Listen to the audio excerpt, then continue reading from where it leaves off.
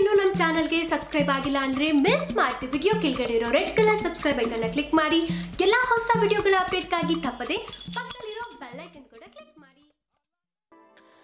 ದರ್ಶನ್ ನಟನೆಯ ಯಾವ ಸಿನಿಮಾ ಈ ವರ್ಷ ಮೊದಲು ಬರಲಿದೆ ಅನ್ನೋ ಕುತೂಹಲಕ್ಕೆ ಉತ್ತರ ಸಿಕ್ಕಿದೆ ಮೂರು ಚಿತ್ರಗಳ ಪೈಕಿ ಯಜಮಾನ ಮೊದಲು ತೆರೆ ಕಾಣಲಿದೆ ಶೈಲಜಾ ನಾಗ್ ಹಾಗೂ ಬಿ ಸುರೇಶ್ ನಿರ್ಮಿಸ್ತಾ ಇರೋ ಯಜಮಾನ ಚಿತ್ರದ ಕೊನೆಯ ಹಾಡಿನ ಚಿತ್ರೀಕರಣ ಬೆಂಗಳೂರಿನಲ್ಲಿ ಇತ್ತೀಚೆಗೆ ಮುಗಿದಿದೆ ಮೂರು ದಿನಗಳ ಹಾಡಿನ ಚಿತ್ರೀಕರಣದ ಸೆಟ್ನಲ್ಲಿ ಹೊಸ ವರ್ಷವನ್ನ ಆಚರಿಸಿಕೊಂಡಿದ್ದಾರೆ ನಟ ದರ್ಶನ್ ನಿರ್ದೇಶಕ ಯೋಗರಾಜ್ ಭಟ್ ಬರೆದಿರೋ ಆಗೋಯ್ತು ಮರ್ಯಾದೆ ಸಸ್ತಾ ಮಾಲು ಅನ್ನೋ ಹಾಡಿಗೆ ದರ್ಶನ್ ಮಜಾ ಸ್ಟೆಪ್ಸ್ ಹಾಕಿದ್ದಾರೆ ಹಾಡಿನೊಂದಿಗೆ ಚಿತ್ರೀಕರಣ ಮುಗಿಸಿಕೊಂಡಿರೋ ಯಜಮಾನ ಸದ್ಯದಲ್ಲೇ ಸೆನ್ಸಾರ್ ಆಗಲಿದೆ ಚಿತ್ರತಂಡದ ಪ್ರಕಾರ ಫೆಬ್ರವರಿಯಲ್ಲಿ ಸಿನಿಮಾ ಅದ್ದೂರಿಯಾಗಿ ತೆರೆಗೆ ಬರಲಿದೆ ಆದರೆ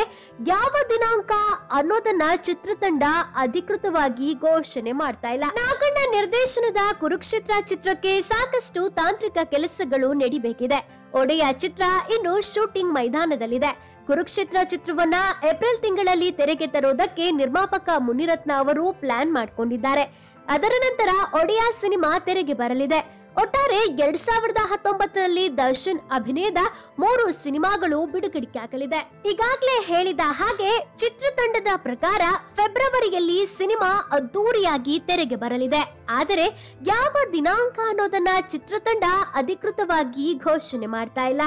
ಅಂದ್ಹಾಗೆ ಫೆಬ್ರವರಿಯಲ್ಲಿ ದರ್ಶನ್ ಅವರ ಬರ್ಡೇಗೆನಾದ್ರೂ ರಿಲೀಸ್ ಆಗುತ್ತಾ ಅಂತ ಕಾದು ನೋಡ್ಬೇಕಾಗಿದೆ ಹಾಗೇನಾದ್ರೂ ಆದ್ರೆ ದರ್ಶನ್ ಅಭಿಮಾನಿಗಳಿಗೆ ಡಬಲ್ ಡಮಾಕ ಏನಂತೀರಾ ಫ್ರೆಂಡ್ಸ್ ಮಿಸ್ ಮಾಡಿದ ಕಮೆಂಟ್ ಬಾಕ್ಸ್ ಅಲ್ಲಿ ಡಿ ಬಾಸ್ ಅಂತ ಕಮೆಂಟ್ ಮಾಡಿ ನಿಮ್ಮ ಅನಿಸಿಕೆ ಅಭಿಪ್ರಾಯಗಳನ್ನ ಕಮೆಂಟ್ ಮಾಡಿ ತಿಳಿಸಿ ಪಕ್ಕ ಡಿ ಬಾಸ್ ಫ್ಯಾನ್ಸ್ ಆಗಿದ್ರೆ ಮಿಸ್ ಮಾಡಿದ ಒಂದು ಲೈಕ್ ಕೊಟ್ಟು ಈಗಲೇ ಎಲ್ಲ ಕಡೆ ಶೇರ್ ಮಾಡಿ ಥ್ಯಾಂಕ್ ಯು